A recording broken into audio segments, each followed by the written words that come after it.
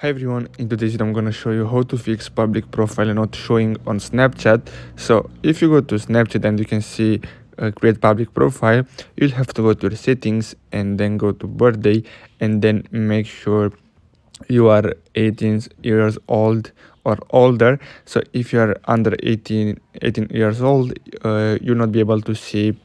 this uh, create public profile so you'll have to change your birthday so i hope you found this video helpful thanks for watching guys